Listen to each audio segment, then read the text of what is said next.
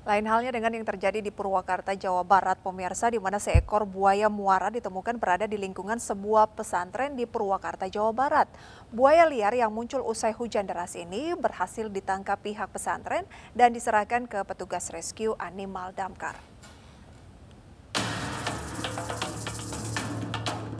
Penangkapan buaya langsung dilakukan oleh pengurus pesantren di pesantren Ad-Duha Desa Mulia Mekar, Kecamatan Babakan Cikau, Purwakarta, Jawa Barat.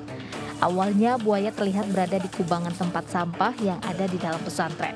Khawatir akan menyerang santri, pengurus pesantren langsung melakukan penangkapan menggunakan kayu, kain, serta lakban untuk menutup mulutnya. Ya, ternyata ada yang ini gitu muncul gitu tiba-tiba kayaknya biawak lihat-lihat di apa namanya di rojok-rojok itu hmm. buaya gitu makanya dari pagi juga sempat diwanti-wanti ke ibu gurunya ada ini jangan main ke sini biasanya anak suka ke sini nih ngambil belalang-belalang Menurut petugas damkar, buaya diduga terbawa arus saat hujan deras. Kuat dugaan binatang tersebut adalah peliharaan warga yang lepas. Saat ini reptil jenis buaya muara ini diamankan petugas damkar Purwakarta. Buaya dengan panjang 1,5 meter dan berat lebih dari 20 kg ini akan diserahkan ke pihak BKSDA di Purwakarta.